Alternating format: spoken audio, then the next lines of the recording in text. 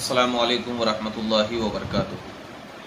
حضرات گرامی، جیسا کہ آپ کے سامنے میں پیش کرتا جا رہا ہوں کہ رافضی اور شیعہ لوگ جو حضرت ابو بکر صدیق رضی اللہ تعالیٰ عنہ پر تان و تشنی کرتے ہیں، ان کو برا بھلا کہتے ہیں، اور ان کے شان اور ان کی عظمت کے کو پامال کرنے کی کوشش کرتے ہیں اور ان پر کئی کئی اعتراضات کرتے ہیں، جس سے لوگ کیا ہے، ان کے اعتراضات کو سن کر کیا ہے لوگ شیعوں کی طرف منتقل ہو رہے ہیں؟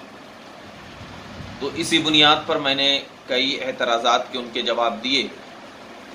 آج آپ کے سامنے وہ اعتراضات جو شیعہ نے حضرت ابو بکر صدیق رضی اللہ تعالیٰ عنہ کی ذات مبارکہ پر کی ہے، وہ اعتراضات شیعہ کے یہ ہیں کہ شیعہ یہ کہتے ہیں، رافضی یہ کہتے ہیں کہ حضرت ابو بکر صدیق رضی اللہ تعالی عنہ نے فرمایا کہ ہر آئینہ میرے لیے ایک شیطان ہے۔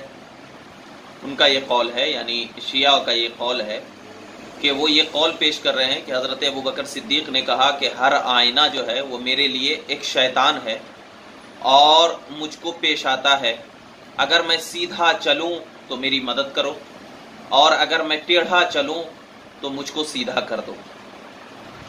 تو شیعہ لوگ یہ کہتے ہیں کہ دیکھو ابو بکر صدیق رضی اللہ تعالیٰ عنہ کا یہ قول کہ ہر آئینہ میرے لیے ایک شیطان ہے، اگر میں سیدھا چلوں تو کیا ہے؟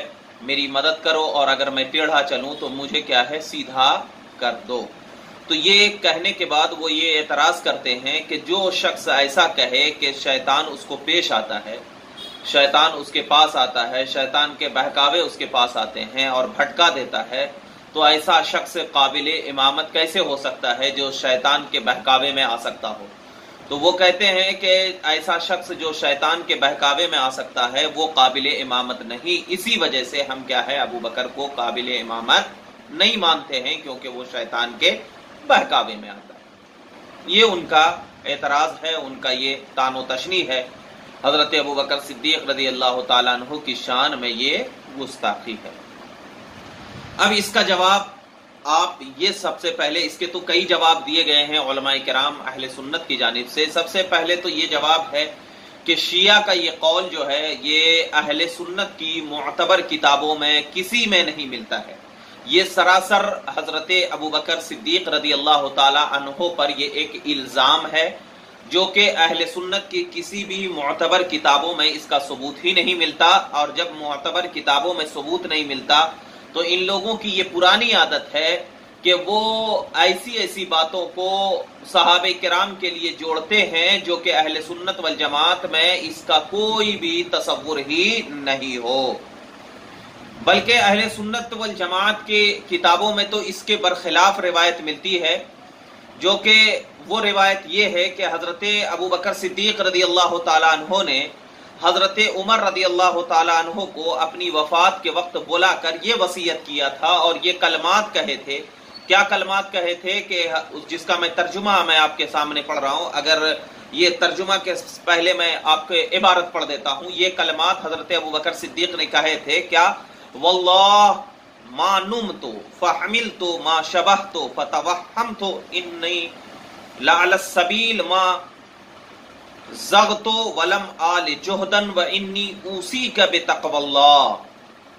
حضرت ابو بکر صدیق رضی اللہ تعالی عنہ نے کہا، حضرت عمر کو اپنی وفات کے وقت کہ خدا کی قسم میں نہیں سویا، کیوں نہیں سویا؟ کہ پریشان خواب دیکھوں یعنی کوئی ایسا خواب دیکھوں کہ میں پریشان ہو جاؤں۔ اسی وجہ سے، اسی ڈر سے کیا ہے، میں سویا بھی نہیں اور کیوں نہیں؟ اس لیے کہ میں کسی کو شبہ میں میں نہ ڈالوں۔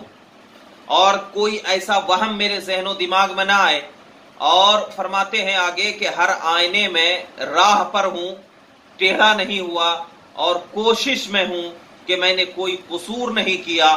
اور میں تم کو وسیعت کرتا ہوں، اے عمر، کہ کہ تم اللہ رب العزت سے ڈرتے رہو، اور تم انہی کے طریقے پر کیا ہے، اطاعت کرتے رہو۔ تو اب ذرا دیکھیے ایک طرف تو شیعہ کی بات ہے کہ جس میں یہ کہا جا رہا ہے کہ حضرت ابو بکر صدیق نے کہا کہ ہر آئینہ شیطان ہے، یہ شیعہ کی روایت۔ لیکن اس کے برخلاف اہل سنت کی کتابوں میں آپ دیکھیں گے تو حضرت ابو بکر صدیق رضی اللہ تعالی عنہ کا یہ قول ملتا ہے کہ ہر آئینہ جو ہے، ہر آئینہ جو ہے، ایک دم بالکل راہ پر ہے اور اس میں کوئی ٹیڑھا نہیں ہوا ہے۔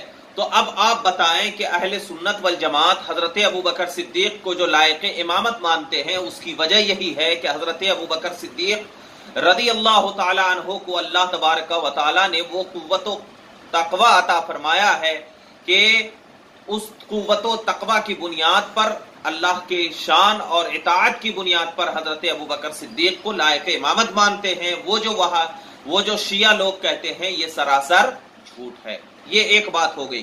اور دوسری بات یہ ہے کہ نبی کریم صلی اللہ علیہ وسلم کے پردہ فرمانے کے بعد، پردہ فرمانے کے بعد سب سے پہلا خطبہ جو حضرت ابو بکر صدیق رضی اللہ تعالی عنہ نے پڑھا تھا، وہ یہ پڑھا تھا کہ تمام صحابہ کرام کو اکٹھا کیا اور یہ ارشاد فرمایا تھا کہ اے نبی کریم صلی اللہ علیہ وسلم کے مقدس صحابہ، میں خلیفہ پیغمبر ہوں۔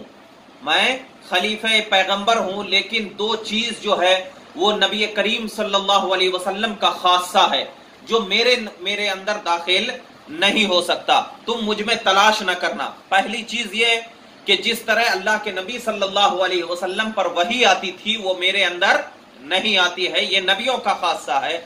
اور دوسرا یہ ہے کہ شیطان سے عصمت۔ یعنی اللہ تعالیٰ نے نبیوں کو شیطان سے کیا رکھا ہے؟ محفوظ رکھا ہے۔ تو یہ دو چیز کیا ہے؟ نبیوں کا خاصہ ہے جو میرے اندر تم تلاش نہ کرنا۔ یہ حضرت ابو بکر صدیق رضی اللہ تعالی عنہ کا کیا یہ جو ہے تھی، یہ خطبہ تھا نبی کریم صلی اللہ علیہ وسلم کی رحبت کے بعد۔ اور اس خطبے کو جو ہے نا، امام احمد بن حنبل نے مسند احمد بن حنبل میں ذکر فرمایا ہے۔ تو اس خطبے کے آخر میں یہ بات حضرت ابو بکر صدیق نے فرمایا تھا کہ میں معصوم نہیں ہوں۔ بس میری اطاعت جو ہے وہ تم پر انہی باتوں میں فرض ہے جو سنت پیغمبر کے مطابق ہوگی۔ انہی باتوں میں فرض ہے جو سنت پیغمبر کے مطابق ہوگی اور شریعت خدا کے طریقے پہ ہوگی۔ اگر بالفرض اگر بالفرض میں اس کے خلاف جاؤں گا تو تم کیا ہے، ہرگز میری بات نہ ماننا اور مجھے آگاہ کر دینا۔ اور اس عقیدے پر تمام اہل سنت کا کیا ہے، اجماع ہے۔ اور یہ چیز ذہن میں رکھیں کہ جب اول خلیفہ حضرت ابو بکر صدیق جو ہے صاف طور پر یہ بتا دے رہے ہیں کہ عصمت کا جو تعلق ہے وہ نبیوں سے ہے، میرے نزدیک نہیں ہے۔ مگر میرے نزدیک نہیں ہے تو اسی بنیاد پر کیا ہے؟ نبی کریم صلی اللہ علیہ وسلم کی طرح ابو بکر کو نہ مانا جائے۔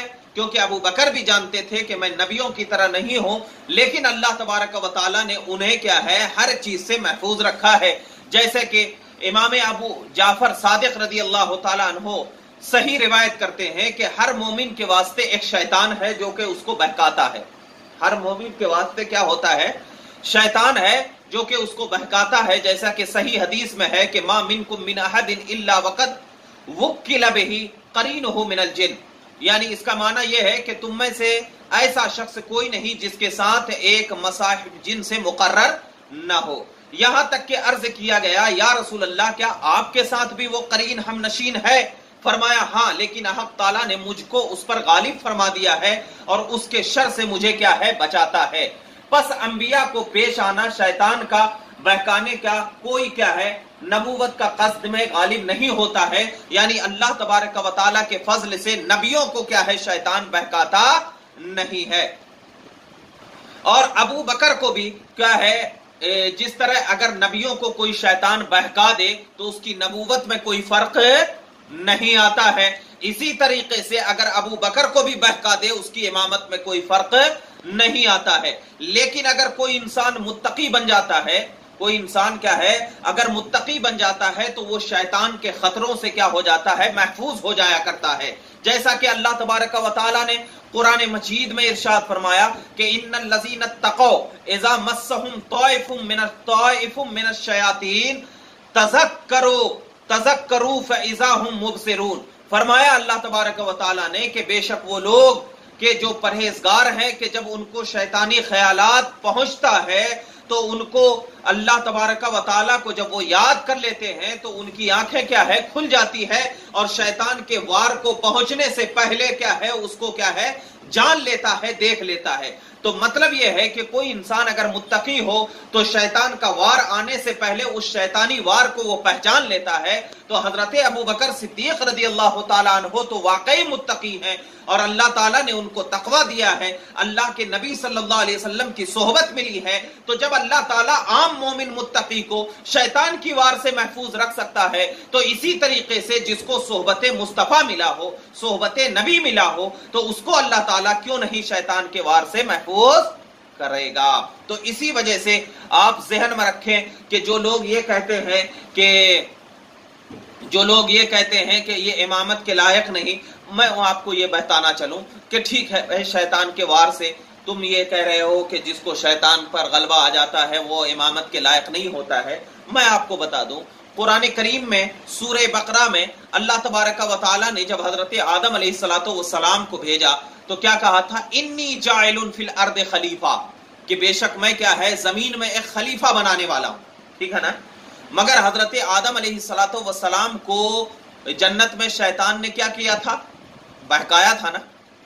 شیطان نے بہکایا تھا، تو کیا بتاؤ حضرت آدم کی خلافت میں کوئی فرق پڑا؟ بالکل نہیں پڑا، یہ تو قرآن کہہ رہا ہے۔ اور دوسرا یہ ہے کہ حضرت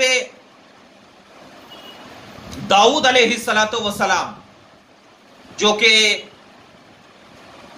ایک اوریا کی عورت کے معاملے میں کیا ہو گئے تھے؟ پریشان ہو گئے تھے۔ پھر بھی اللہ تبارک و تعالیٰ نے ان کو خلیفہ بنایا۔ تو ان میں کیا ہے؟ کچھ فرق پڑا؟ تو شیطان کے بہکاوے میں کیا ہوتا ہے؟ کوئی فرق نہیں پڑتا۔ یہ جو ہے نا، صرف اور صرف یہ شیعہ اور رافضیت کی کیا ہے؟ ایک دشمنی ہے حضرت ابو بکر صدیق رضی اللہ تعالیٰ عنہ سے، جو اس طریقے کی باتوں کو کہہ کر کیا ہے، لوگوں کو بہکا رہے ہیں۔ تو اسی لیے ہم عام اہل سنت کے مسلمانوں سے یہ کہنا چاہتے ہیں کہ جو اس طریقے کی گفتگو شیعہ اور رافضی کرتے ہیں، آپ ان کی گفتگو میں نہ آئیں اور ایسا کام نہ کریں جس سے صحابہ کی عظمت اور صحابہ کے کیا ہے، عظمت کا احترام نہ ہو۔ آج بہت ایسا فتنے کا دور ہے جو ہر طریقے سے صحابہ کے چرتر پہ کیا ہے، انگلیاں اٹھائی جا رہی ہے۔ اور اہل بیت کے نام پر صحابہ کو گالیاں دی جا رہی ہے۔ تو اسی بنیاد پر ہم اہل بیت کی بھی عظمتوں کا احترام کریں، صحابہ کی عظمتوں کا بھی احترام کریں اور ہر اس چیز کی کو اپنے دل اور سینے سے لگائیں جس چیز کو نبی کریم نے چاہا ہو، محبت کیا ہو اور جس چیز کو نبی سے نسبت ہو جائے۔ اسی بنیاد پر ہم کیا ہے، نبی اور آل نبی اور اصحاب نبی کی عزت و تقریب کرتے ہیں۔ السلام